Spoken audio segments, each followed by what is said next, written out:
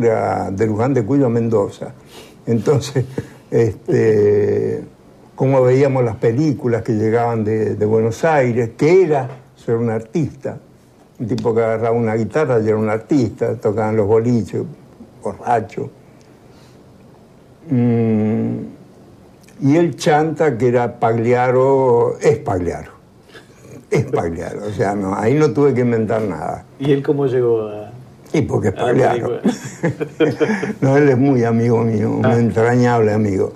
Este, y él fue a la oficina, yo no tenía muy en claro el personaje, pero cuando lo vi dije, es este. ¿Viste cómo está vestido en la película? Sí. Bueno, él vino vestido así. Él se viste así. Entonces venía con un bolso de esos de cuero.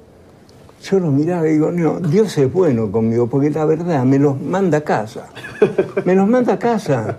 Yo te entro a contar anécdotas de Perón, de cualquiera de mis películas. Pues sí, no puede ser. Los decorados que yo sueño cuando elaboro un guion están. Muchas veces se angustian los colaboradores, me dicen, eh, ya salgamos a buscar, que estamos tranquilos, tranquilos, tranquilos. Salimos a buscar acá, acá, acá, acá, ya está. Es impresionante. Entonces, cuando yo lo veo a Pagliaro, eh, dije, este es el actor en película. Y como él venía a hacerme un reproche, porque, por un problema que habíamos tenido con los derechos de autor de una canción, este,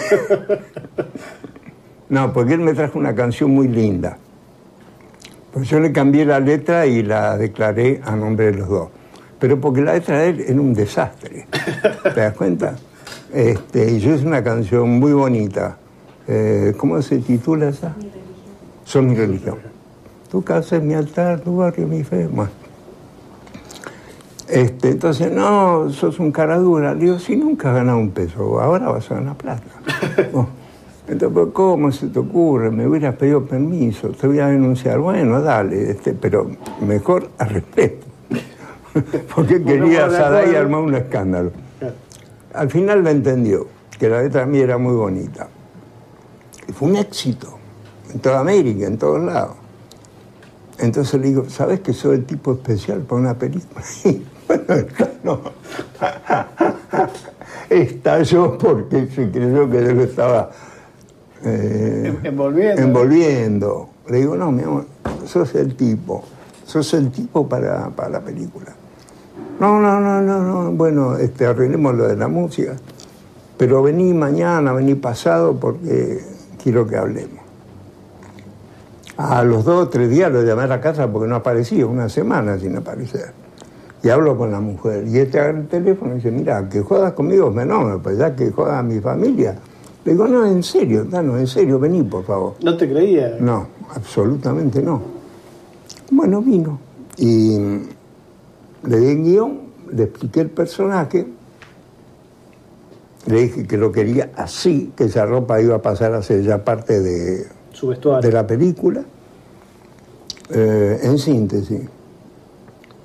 Mm. descubrí un gran actor, es un gran actor, hizo muchos aportes en la película. Yo te diría que le marqué muy poco, muy poco. ¿Y has, dejado para la iconografía así momentos, digo, la escena de los ruleros, por ejemplo, es algo que, que quedó en el imaginario de todo el mundo? Bueno, eso es porque en mi pueblo había un, un, un pibe que le decíamos el Breva, porque era muy negrito. Y bailaba, y en, la plaza del pueblo se hacía bailes todos los sábados, domingos, ¿no? Y un día él tenía los pelos duros, como dice en la película, los tengo así de duros, ¿no? Y él se engominaba que daba miedo, para que se le aplastaran un poco. Bueno, un día no aparece lleno de rulos, unos rulos así, una cosa, no podíamos creer que el Vereva andaba con esos rulos.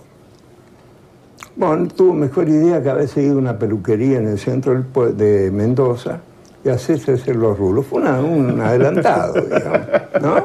Claro, un pionero, un pionero. Un pionero, un pionero.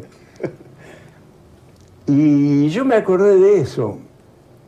Digo, este, este le hago hacer eso. Primero no quería Monzón. Después le entendió, ojo, Monzón era un tipo muy perpicaz, no, era ningún tanambana, no, no. Después lo aceptó.